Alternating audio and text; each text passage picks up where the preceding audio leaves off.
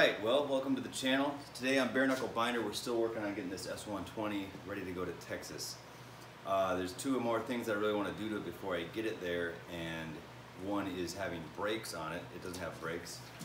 It's never had brakes. And um, the other one is I want to swap transmissions in it. Right now it has a three on column shift. You all right? You?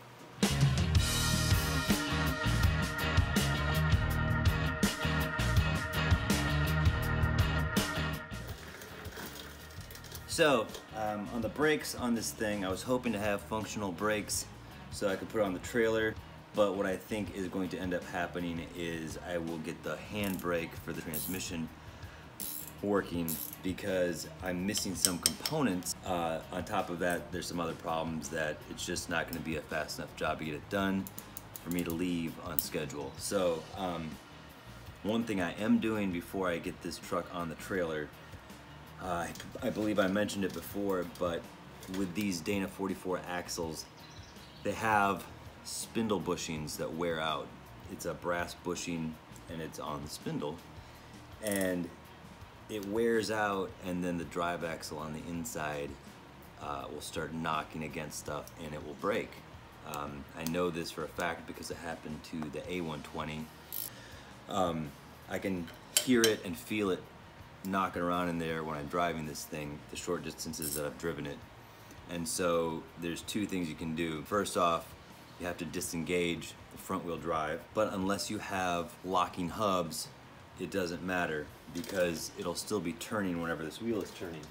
The drive flange that I just took off of this looks like this. Uh, so that's just the bolts that hold it to the hub, and that's the, the splines.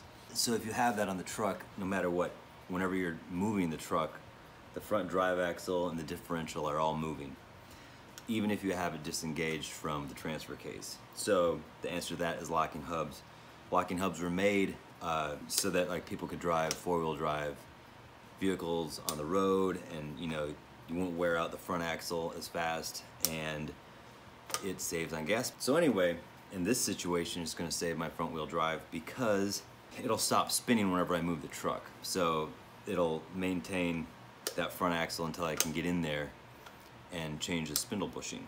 So anyway, I picked up some Husky hubs. Husky hubs. From what I understand, Husky hubs were the first commercially available locking hubs that came out in the 50s. Uh, and so this thing will actually fit this truck. It's actually period specific, period correct. Vintage. It goes with the truck, you know. I just think it's really cool and it's green. So so I'm gonna put this on there. So that means right now, unlike the other side, uh, all but one of these studs came off on the other side. But these are studs, and to get them off, I have to double nut them. Get your mind altogether. Double nutting a stud is to take one nut and put it on there, and then you take another nut, and then you tighten those two nuts together, and that will create a grip on that stud, like so.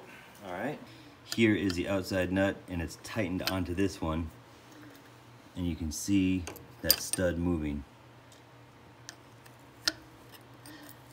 Before I take it completely out like that, I'm going to go ahead and de-nut this. Oh, come on. There's one stud down. This one's giving me problems. Might have to heat it. All right, so here we are with an oxyacetylene torch. This is a brazing tip.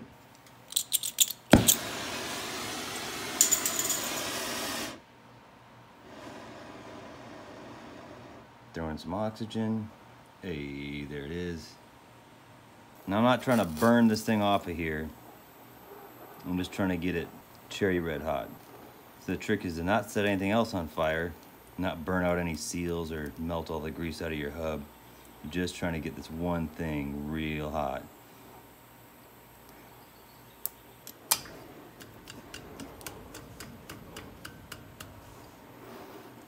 Oh, you little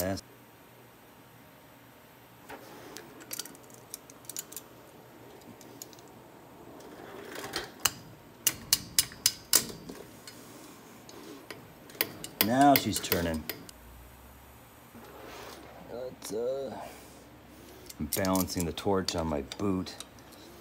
It's not a recommended procedure. All right.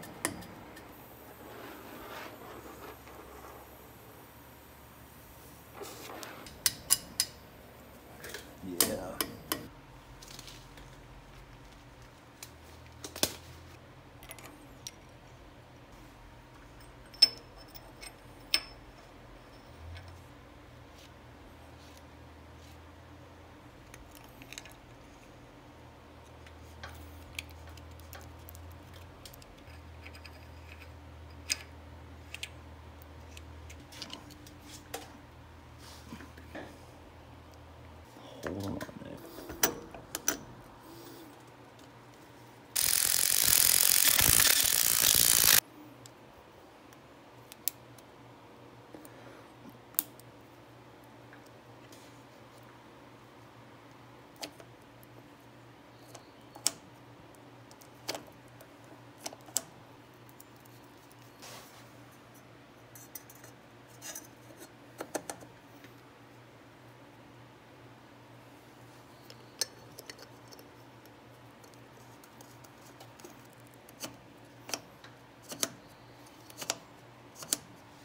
Cool. Husky hubs.